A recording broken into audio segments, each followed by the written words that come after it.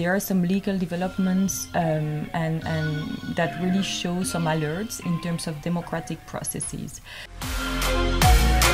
Since 2014, 115 traditional media have had to close and terminated their activities.